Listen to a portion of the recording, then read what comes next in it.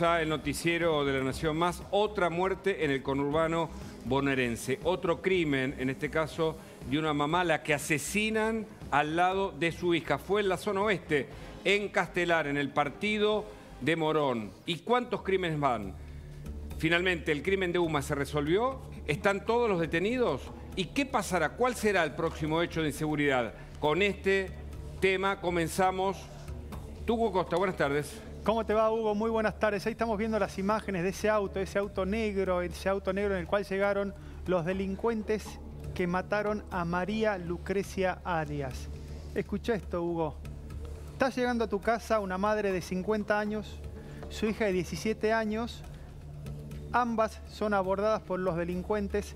La hija logra desabrocharse el cinturón de seguridad, algo que hacemos todos cuando estamos a abrir el auto para salir al parecer a la madre se le trabó el cinturón de seguridad y la fuerza que hizo ella para querer destrabarlo, para el delincuente significó una resistencia y a sangre fría un balazo en la cabeza.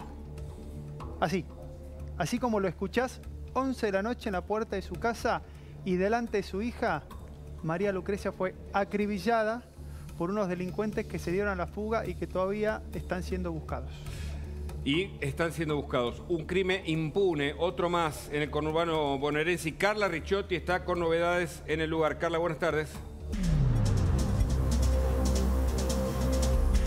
¿Qué tal, Hugo? Buenas tardes. Así es, aquí estamos, eh, en la casa, en el barrio donde mataron a María Lucrecia. Bueno, esto es la calle San Nicolás. Este video que ustedes estaban viendo es de la esquina, de aquella que es gobernador eh, Zavala, que es por donde se ve eh, gracias a la cámara que hay en una despensa que está en la otra esquina, o sea, una cámara privada, no es una cámara municipal, se lo ve doblar hacia la derecha a este Peugeot 208 negro, en sentido como viene esta camioneta que estamos viendo ahora de frente. Aquí, sobre la vereda, estaba ingresando con su camioneta Surán al lado de su hija, acompañada por su hija, en el asiento del acompañante, María Lucrecia once y media pasadas de la noche, lo hacían evidentemente habitualmente. Eh, y ahí es cuando este auto que las intercepta, eh, se bajan algunos de los delincuentes, se habla de cuatro al menos, se bajan armados, le empiezan a exigir que, se bajen, que les den el auto. Eh, lo contaba recién el Tucu, la hija llega a sacarse el cinturón de seguridad, ella evidentemente no hizo a tiempo a sacárselo y el delincuente directamente le disparó. sin mediar palabra le termina disparando. Muere eh, prácticamente en el lugar, no llegó a ser asistida. Llegó personal del SAME al lugar, eh, aquí al eh, junto con la policía, pero no pudieron salvarla. Se habla de un disparo en el pecho. María de 51 años, una mujer joven que venía a su casa, a un barrio residencial, a simple vista tranquilo, pero hoy los vecinos más tempranos decían, bueno, la verdad, eh, sabemos de que a tal le habrán robado el auto o de que a otro le robaron el celular, pero en general esta zona no es algo eh, habitual eh, para la delincuencia. Bueno, evidentemente estos delincuentes estaban merodeando la zona con este auto que encontraron después y que la policía porque fue abandonado en la zona de Fuerte Apache allí en, Caseros, eh, evidentemente también hay que ver si ese auto fue robado. Acá los familiares y los vecinos reclaman que para el esclarecimiento de este hecho, la misma celeridad que lo hubo para el esclarecimiento del eh, asesinato de Uma. Bueno, eh, Carla, y los vecinos que reclaman, escuché a varios decir que es una zona liberada, o en todo caso, porque liberada implicaría una complicidad con las fuerzas de seguridad, hecho que no está comprobado, pero al menos hay ausencia de la policía, no hay prevención. Y otro hecho, y nosotros cuando contamos lo de UMA, y lo decimos en este tono porque no hay otro en el que podamos describir hechos que se repiten. Y cada vez que contamos uno decimos, ¿y cuál será el próximo? Y cuando contamos lo de UMA, atravesados por el dolor, decíamos, ¿cuál será el siguiente? Entonces, ¿no hay responsabilidades de los funcionarios en este crimen? ¿Cuál es, cuál, eh, ¿Cuál es la responsabilidad que les cabe a quienes tienen que velar y justamente resguardar la vida de los ciudadanos? Está con nosotros, eh, ¿tú con alguna novedad más? Carla, volvemos con vos en instantes también. Mira, me comuniqué recién con autoridades policiales. ¿Algo para informar del caso? Respuesta cortita, cuatro letras, nada. Nada. Nada. Eso quiere decir o que están trabajando y no quieren que se filtre mayor información como pasó en los primeros días, eh, en las primeras horas del caso de UMA, por lo cual pudieron escaparse algunos de los prófugos que después finalmente fueron detenidos, o que no saben para, por dónde arrancar. Sí, la última novedad, que lo decía Carla, se encontró el auto, se encontró dentro de Fuerte, ah, en la zona de Fuerte Apache, el auto en el cual se llevó adelante esto, y un dato que vos decías recién. Jennifer, viernes. Uma, lunes sábado, eh, eh, jueves a la noche de nuevo, María Lucrecia. Cada cuatro días, para robar un auto, te matan de un disparo. Y ese es el otro tema. En provincia de Buenos Aires. Porque ahora vamos a hablar, ya están con nosotros los abogados, yo los presento, para meternos en, el, tema del el mercado de los autos robados, el mercado de los repuestos. Los desarmaderos volvieron a estar presentes porque a Uma la matan para quedarse con el auto. A Jennifer también. Y hubo otro robo, ¿te acordás? Que eh, creo que en, el corredor oeste, que dejaron a la bebé en el piso. Que lo, que lo tiraron, cuando se iban escapando, tiraron. el huevito, que por eso no, no, sufre daños. Los investigadores creen que esos autos van a desarmaderos porque son autos, digamos, no, no son nuevos, se necesitan esos repuestos. No hay inteligencia criminal. Lo sabemos porque las mismas fuentes te cuentan que este es el motivo de estas bandas organizadas que van a robar autos. Este es el motivo. En este caso ni siquiera se llevaron el auto. Muchas gracias, Carla. Volvemos con vos en instantes. Está con nosotros Sebastián Caijero, abogado penalista, y Hugo Trindade, también es eh, un experto eh, en el derecho en este tema. Eh, Sebastián, ¿hay un, mercado negro detrás de este robo de autos y de estos crímenes, en verdad, que, es el eje o una posible explicación por este tipo de delitos? Sí, hay un mercado, yo escuché decir un montón de cosas, que pena de muerte, miles de cosas. Con las leyes que están, si se cumplen y no hay una puerta giratoria, hay una responsabilidad con los funcionarios que firman la libertad de los delincuentes, alcanza. Recordemos, yo me gusta cuando, explico dar ejemplos. Hace un, caso parecido de un funcionario que también dio libertad, el caso este de, la chica joven, jovencita que, fue violada por, la, por una pareja y demás, que el magistrado ni siquiera había leído el expediente porque estaba la firma. Entonces, es muy complejo decir que vamos a tener penas de muerte y demás, cuando si tenemos las leyes que tenemos tienen que ser cumplidas y tiene que haber políticas de Estado donde ataquen este tipo de delitos. Sabemos que es un delito muy violento el robo automotor y hay como una jerga entre los delincuentes donde en caso de resistencia o de no poder llevar a cabo ese, ese robo, disparan, matan. Entonces, si saben que es así, tienen que atacar los desarmaderos, tienen que atacar el robo de autos mellizos, que también lo usan para remis, y todos sabemos que es un montón de autos cruzan a Paraguay. Y mm. faltan los controles para esto, Hugo. Eh, doctor Trindade, gracias por la visita. Eh, ¿Usted qué cree que hay detrás de estos crímenes? Porque además de la impunidad como, un, como una consecuencia natural de los hechos, porque acá la mujer en un momento no se termina de sacar el cinturón y la disparan, o sea, la asesinas es una pena de muerte literal que cometen los ejecutantes, evidentemente porque saben que o no los van a detener o porque están bajo algún efecto. ¿Usted qué piensa que hay detrás de estos hechos? Yo pienso que hasta que no se solucione el tema del repuesto automotor, porque fíjese una cosa, se rompe un automóvil, uno lleva su auto al taller y el repuestero le dice que tiene cuatro meses de espera para reponer ese repuesto. ¿A dónde recurre la gente? Al mercado negro, a los desarmaderos.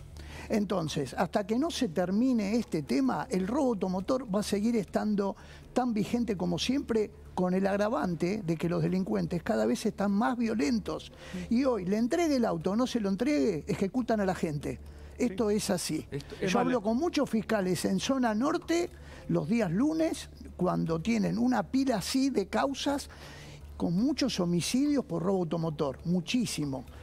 El homicidio en robo automotor en la provincia de Buenos Aires creció. Y si creció en eh, la lista blanca, imagínense la zona negra, o sea, lo que no se denuncia. Claro, generalmente es un delito que se denuncia mucho porque vos vas al seguro para que te para poder reponer el bien, entonces es de los que menos subregistro tiene. Pero otra cosa que, que suma esto no solo son los desarmaderos, sino Marketplace que es un lugar que es tierra de nadie. Sin ir más lejos, uno de los asesinos de UMA, cuando llega a San Pedro, que es por Marketplace, que, alquila la casilla esa, donde nadie le toma ningún tipo de control. O sea, eh, las redes sociales también ayudan a que ocurran este tipo, este tipo de hechos. La, pregunta que me, surge a mí es, comparado con lo que está pasando, esto que dice la crisis, eh, ¿viste lo que es el bronce? Que no se consigue por ningún lado y demás. Sí, sí. En la ciudad de Buenos Aires, ¿viste? Estaban robando bronce por todos lados. ¿Qué es lo que hicieron en, los últimos, en las últimas semanas?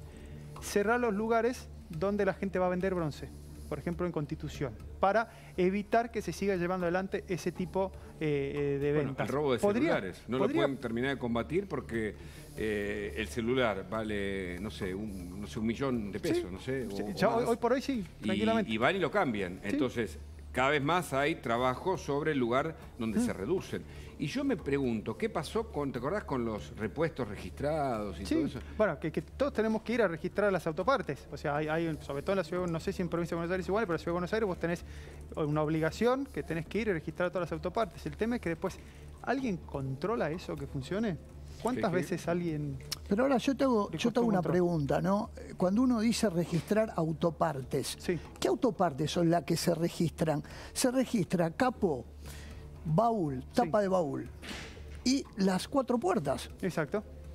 No hay otra autoparte. O sea, hay faltante de neumáticos en todos lados. Es una cosa que lo sabe todo el mundo porque hay gente que va a Paraguay a comprar neumáticos, a Uruguay, Bueno, a ayer Chile. lo decía la ministra de Seguridad, ese tipo de delito hormiga de la frontera también ha crecido porque, a ver, para que entendamos, el crimen, ¿por qué se habla de crimen organizado? Porque se organiza y porque tiene redes que va mutando. ¿Cuál es el negocio del momento? El neumático. ¿Te acordás que entonces estaban los robarruedas, la banda, los entonces nosotros contamos los hechos que ocurren. Ahora te matan para sacarte el auto.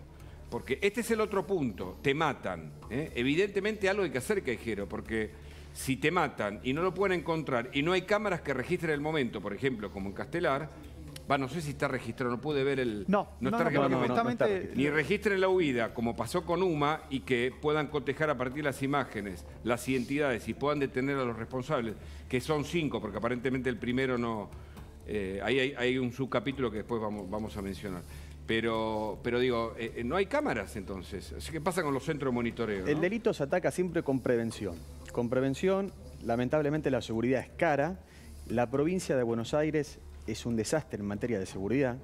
Esto lo dicen las estadísticas. Con esto, por ejemplo, Capital Federal. No es para defender uno u otro, ¿eh?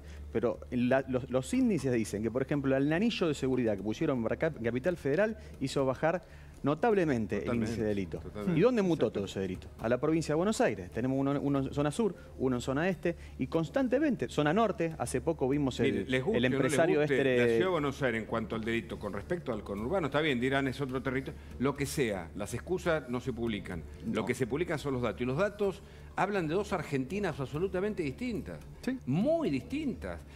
Por las cámaras de seguridad, que es un elemento que es disuasivo, preventivo y fu- fundamental para eh, el momento judicial, ¿no?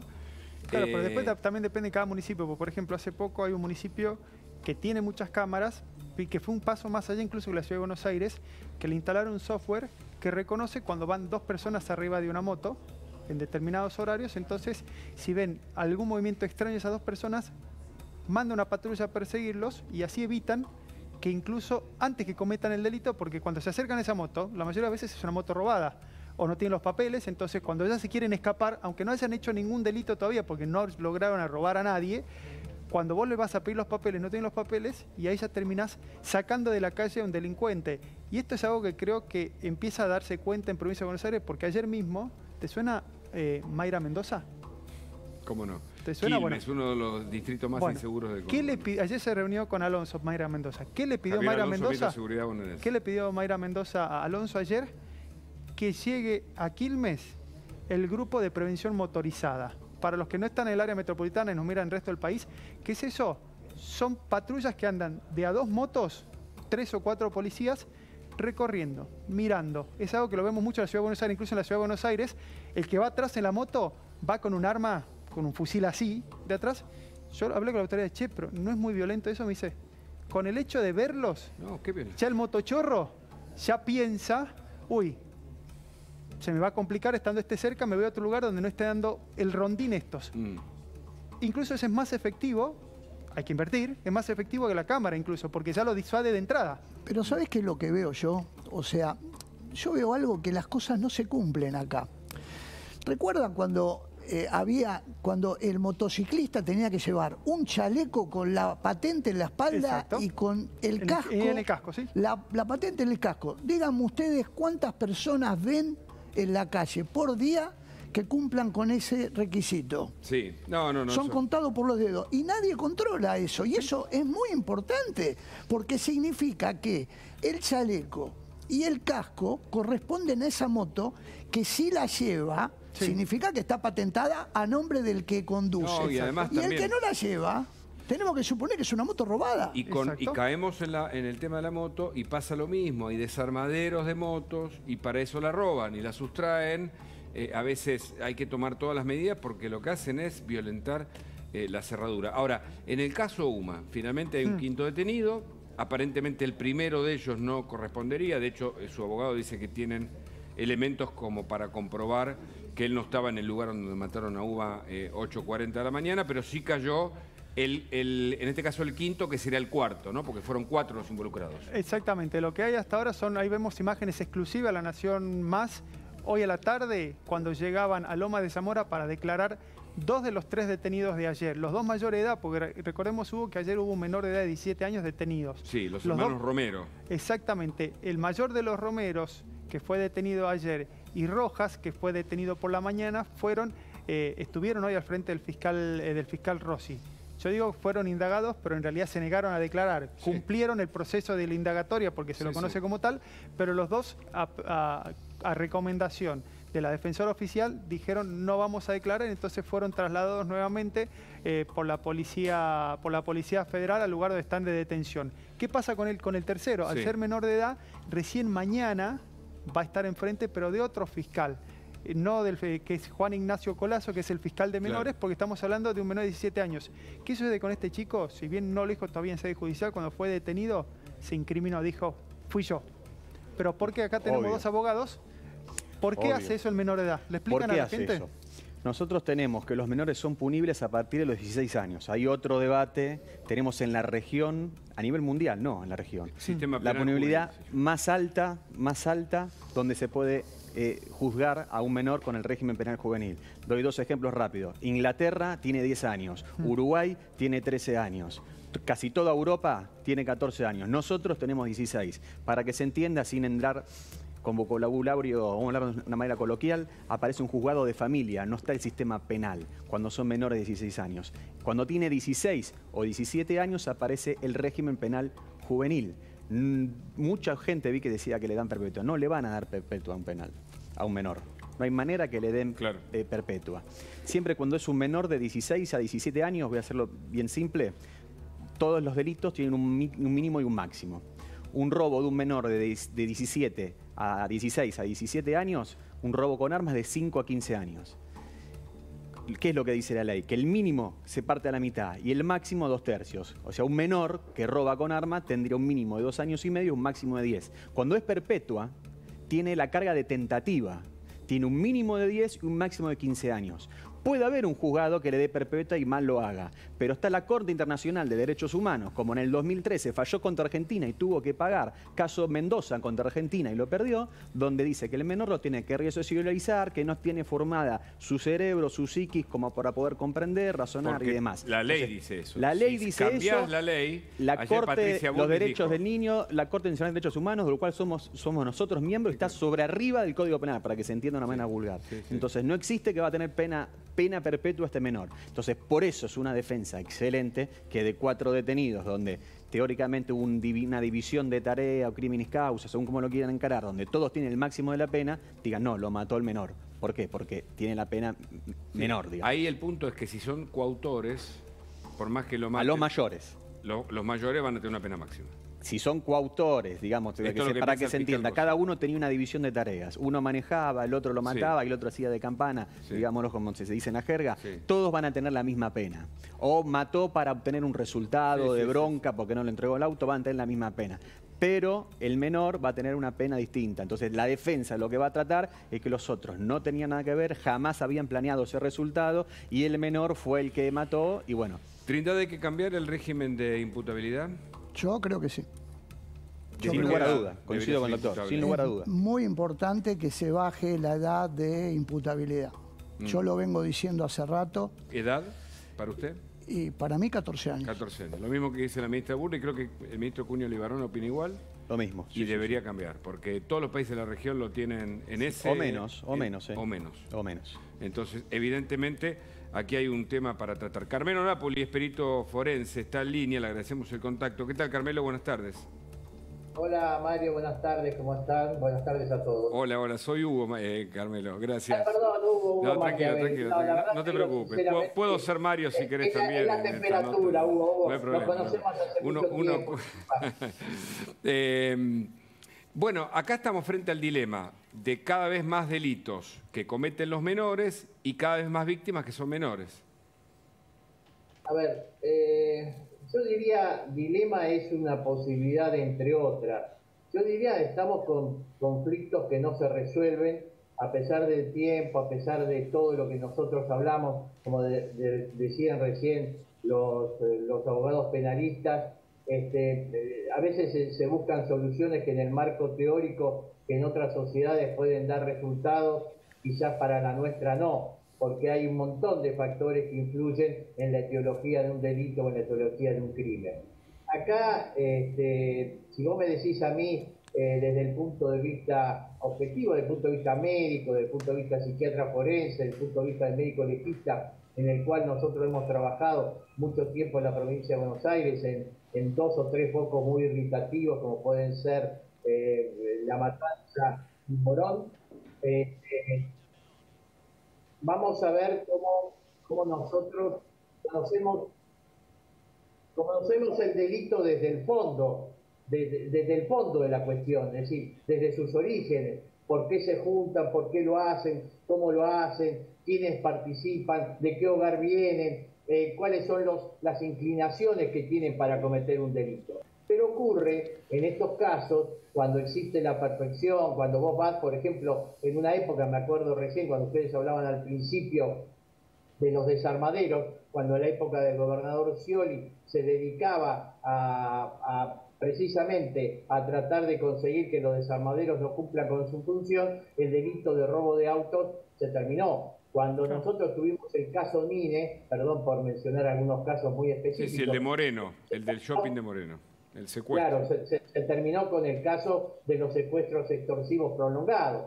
Eh, o se terminó, de alguna manera, terminó la época en que había muchos secuestros extorsivos prolongados. Y acá pasa exactamente lo mismo. Es decir, como nosotros en una zona un poco caliente, hoy Morón, que está cerca, lo que decían de, ustedes recién, del barrio Ejército de los Andes, más comúnmente llamado eh, Fuerte Apache, ¿cómo no existe prevención? ¿Cómo después de los últimos dos años, vamos a hablar de los últimos seis meses, cómo después de, de que mataran a un médico a sangre fría para robarle el, auto, a un médico que ayudaba y atendía a los más necesitados, ¿cómo podés pretender vos que no se haga una prevención primaria, por decir de alguna manera, para evitar que esto suceda? ¿Por qué no seguimos buscando a las personas que ya cometieron delitos o que abandonaron en la escuela o que se forman en batitas como para porque la iniciación no es sí. un crimen como puede ser en una mara o, o, en un, o en una asociación mafiosa. La iniciación puede ser por otros delitos al principio. Carme para llegar a... Carmelo, eh, sí. ¿Cómo le va? José Costa lo saluda. Buenas tardes, perdón la interrupción. Hola, Yo me quería meter con la autopsia de Uma, no sé si usted la, la pudo leer,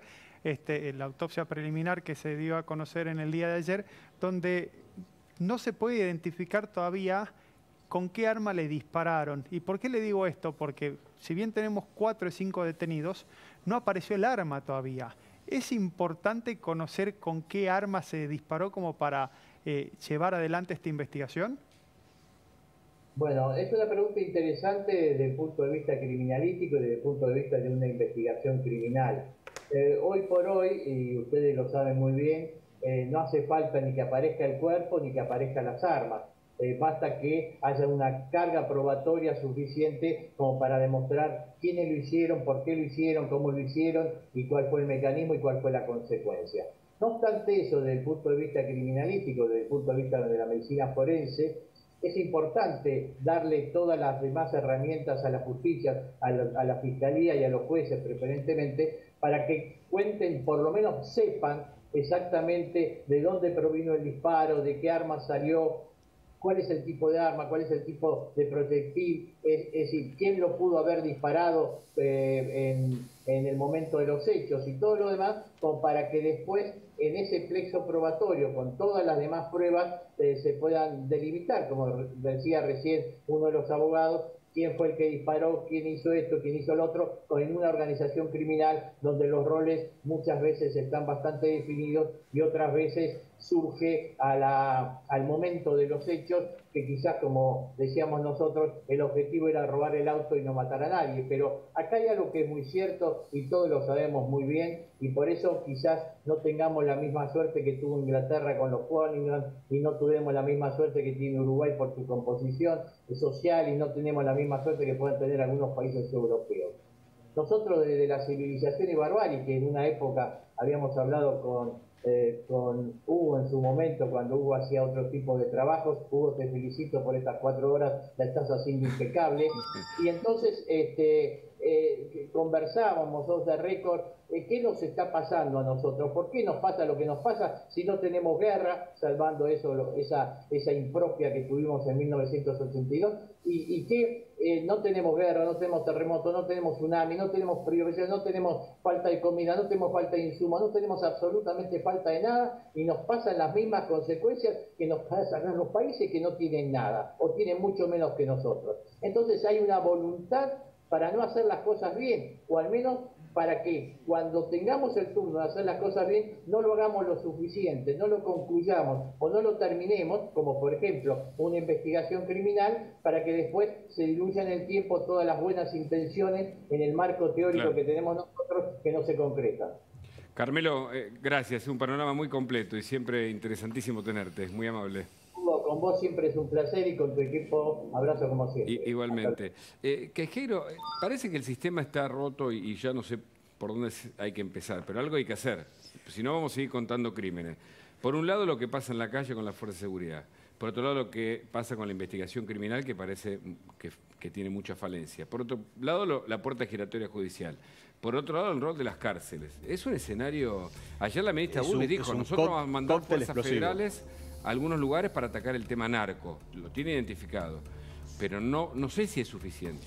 No, no es suficiente. Yo, en mi opinión personal, hay que hacer que tenga una responsabilidad el juez, el funcionario que firma y da la libertad a tal persona. No puede ser que se llama que lo dejan a la firma, que al juez le dejan una pila así de expedientes, firma los expedientes, da libertad y ni sabe quién es. Entonces tiene que tener una responsabilidad como por ahí un comunicador puede tener un juicio por comunicar algo que no es y después tenés un juicio, como hay varios compañeros ¿Y el funcionario público? No lo tiene. ¿El ministro de Seguridad?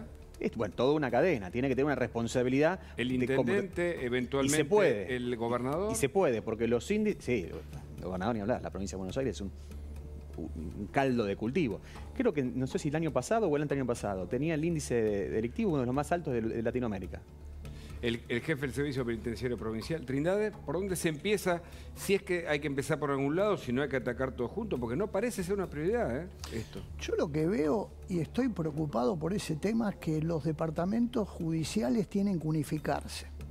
Hay departamentos judiciales que son muy flojitos y son sueltos de mano para dar libertad, para dar, no sé, lo que uno pide se lo dan. Y hay departamentos judiciales que son muy duros. Ejemplo, San Isidro. San Isidro uno pide eh, algo para algún defendido, no le dan nada. ¿sí? Son los dos extremos. Tenemos eh, departamentos judiciales que son flojitos y departamentos judiciales... Pero ahí vamos la justicia. ¿Y la calle? ¿Y la cárcel? Para mí falla de todo. Falla desde la inmediatez de los juicios. ¿eh? Hay juicios que pasan más de dos años y medio. Por ejemplo, la última causa mediática que tuve fue esta causa del descuartizado de lechuga. Tenemos todas las mm. personas detenidas, no tenemos fecha de juicio. Estamos hablando del año que viene. O sea, no podés tener tanto tiempo sufriendo una familia, el caso de Fernando no, Sosa, apelaron, todavía no hay una sentencia firme, a la familia sufriendo. Pero es que también hay un tema de la justicia, a mí se me vino el ejemplo de esto, es el tema Lucio. Finalmente se llevó a la jueza a decir, vos hiciste mal tu trabajo. Hubo corporativismo El ahí. caso Lucio, ese. Perfecto. Hubo corporativismo ahí y dijeron, no, la verdad que se hizo bien, ella firmó lo que tenía que firmar, eh, la verdad que no vino nadie y le mostró la herida concreta que tenía Lucio en el brazo, entonces como ella no le vio a el la brazo a jueza Lucio, que le dio la tenencia a la a la madre, que a la madre. Entonces- a la progenitora, mejor dicho, porque madre es otra cosa. ¿cómo se hacen esos al- casos al- donde hay tanto corporativismo también dentro de la justicia? No tuvo ningún juicio. Hubo una junta disciplinaria, la del Consejo de la Magistratura, no terminó nada. ¿Cómo puede ser? Se- Quedó remostrado que fue un horror es- ese permiso que dio. Le dio una tenencia a una, a una pareja de, un- de unas chicas donde torturaban al hijo que le dieron adopción y lo terminaron matando de cómo lo torturaban ¿Dónde está el porque lloraba y hasta lo quemaban ¿Por con el qué no le conocemos la cara a, a Javier Alonso? ¿Por qué no habla? ¿Por qué no da, no se para y da como...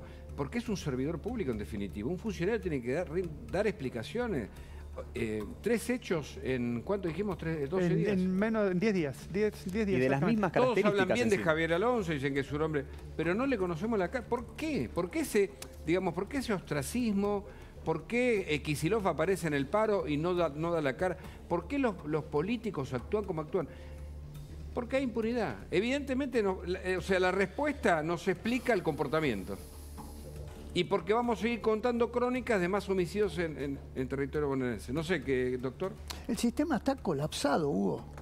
Está colapsado y hace rato. Hace Está rato. colapsado, comparto. Hace rato. Entonces, ¿qué- ¿Cómo, qué- cómo qué hay que puede ser que una, una persona tenga juicio 3, 4 años después del hecho? Y eso genera una incertidumbre y una inseguridad jurídica terrible. ¿Por qué? El hecho es hoy, yo juzgo dentro de seis años, llamo a los testigos, dígame usted si una persona se va a acordar con lujo de detalle seis años después lo que vio, lo que escuchó, lo que percibió a través de sus es un sentidos. despropósito. Un despropósito. Y bueno, todo eso Y afecta uno- contra el y- y sistema de justicia. Para, para conversar. Cuando uno pregunta a las fuentes, dice, no, pero tenemos la tasa de homicidio más baja de América Latina y te comparan con Honduras. Con... Pero no, digamos, no es la respuesta. Cuando Bernie venía, que Bernie estaba en los lugares, pero te decía, no, mirá, estos son los datos. Pero no importa, las historias son estas. ¿Cómo le explicás eh, a, a la hija de la mamá que asesinaron esta mañana que las estadísticas son, son favorables? ¿Cómo le decís? No, porque ¿Qué- aparte- ¿Qué le decís? Pero es que si, si siempre te comparas ¿Cuál con es el la más- sensación de la pero si gente, te comparas con el más malo, siempre vas a estar un poquito mejor. Sí. Es como el político que dice, eh, pero el otro también roba cuando está en ese robar. En ningún momento dice yo no robo. Si Y no, no es, es- pero el otro también lo hizo. No, entonces está mal desde el lugar en el que se Está parte la comparación. Desde, desde donde arranca el delito, en una comisaría. Colapsadas, tenés por ahí en un lugar para 8, doctor, 12 personas, tenés por ahí una comisaría 60, 70. Para que se entienda, la comisaría es un lugar de tránsito. Tiene que estar unos días, le dan la libertad o le dan traslado a un servicio penitenciario.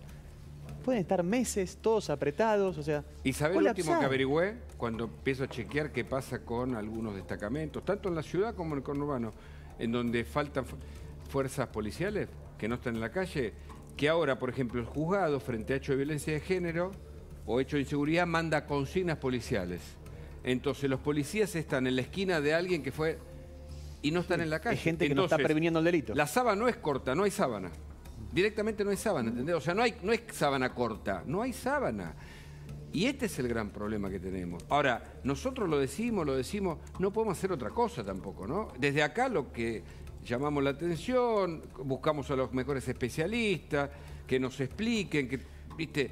Pero no hay manera de, de que esto tenga una solución. No hay Venimos hablando de la inseguridad en crecimiento Y hay desde que hace tener mucho tiempo. mucho cuidado cuando legislás las leyes que haces. Dos ejemplos te doy, que dijiste violencia de género.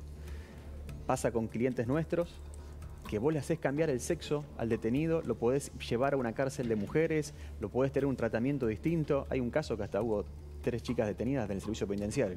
O sea, como una, como una, una- una persona, un hombre se jubila a los 65, le cambiás el sexo a femenino y se jubila a los 60. Entonces tenés que tener mucho cuidado cuando legislás, porque hay un montón de errores jurídicos que después pasan.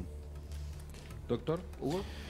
Y sí, comparto, eh, pero fíjate una cosa, yo estaba pensando algo con lo que dijo recién Hugo, del tema de nuestra policía. Yo el otro día, con una clienta mía, Y se juega en la vida, ¿no? Porque hay que decirlo también, ¿eh? sí, sí, por supuesto, con una clienta mía que le hicieron una exclusión del hogar, ¿sí? Bueno, tuvo que ir a buscar cosas a la casa y le pusieron una consigna para que la acompañen, eran tres personas en un patrullero con ella para que retire cosas, efectos personales. Tuvo dos horas y pico. Fíjate una cosa, en esa cosa que es algo insignificante, porque es retirar elementos personales, Sí. ropa interior, cepillo de dientes, lo que sea, tres efectivos policiales salieron de la calle dos horas y media. Fíjate, ¿eh? Entonces, lo que hay que hacer acá, pienso, ¿no? Opinión personal, es designar equipos de personas particulares que se encarguen a ese tipo de cosas. Sería una solución. ¿Por qué? Porque la policía tiene que estar para otra cosa Claro. y no lo está. Ahora, cuando decís a los políticos, te dicen que no tienen, no tienen el presupuesto. Bueno, seguiremos con este tema. Ahora vamos con Carla Ricciotti. Gracias, doctor. ¿eh? Gracias, muy amable. Gracias. No, usted. por favor. Tuco, gracias por, por Gracias a vos. Nos vas a dar más información seguramente. Exactamente, mañana desde las 7 de la mañana en vivo acá, por la. Excelente. Eh, te, te seguimos, Tuco. Muchas gracias. Carla Ricciotti está en Castelar. Allí mataron esta mañana a María Lucrecia Arias, 50 años. La mataron, la ejecutaron al lado de su hija. Habían llegado a su casa. Contanos, Carla, las novedades, por favor. Sí, así es, eh, Hugo. Bueno, ustedes ven ahí un auto estacionado dentro de la casa. No es este el que le intentaron robar a María Lucrecia. Es otro auto de la familia. Vienen algunos familiares, conocidos, amigos a dar las condolencias a la familia. Eh, hasta ahora no hemos podido eh, hablar con nadie. Respetamos obviamente la privacidad y el momento doloroso por el que están pasando, pero los vecinos no descartan eh, convocar alguna marcha para pedir justicia. No saben si en el día de hoy o en los próximos días, pero también lo quieren hacer. Quieren que este caso se esclarezca. Exigen, como les decía antes, al Ministerio de Seguridad, eh, no solamente de la provincia, sino de la nación, para que también apoye la investigación para dar con los asesinos de María Lucrecia, que recordemos fue asesinada anoche en un intento de robo aquí en la puerta de su casa, pasada las 23.30 horas, cuando llegaba aquí, cuando intentaba ingresar a su casa, eh, subiendo el auto a la vereda y fue abordada por un grupo de cuatro delincuentes al menos que hoy abandonaron el auto, o por lo menos allí fue encontrado, en la zona de Fuerte Apache. Hay que ver si ese auto también era robado. Eh, aparentemente sí, tenía pedido de captura. Eh, lo habían robado en San Martín, eh, aparentemente el 15 de enero. eh, así que eso fue confirmado, que sí que, había sido un auto, que era, se trataba de un auto también robado, pero todavía no se sabe nada de estos cuatro delincuentes que con un arma, con una 9 milímetros, terminaron ejecutando a María Lucrecia aquí en la puerta de su casa en Castelar. Muchas gracias, Carla. Todos los detalles, la crónica tan completa de siempre y seguramente las novedades eh, a continuación. Muchas gracias por este contacto. Acaba de eh, hablar el presidente Javier Milei. Eh, Paula Rossi, buenas tardes, ¿cómo estás? Buenas tardes, Hugo.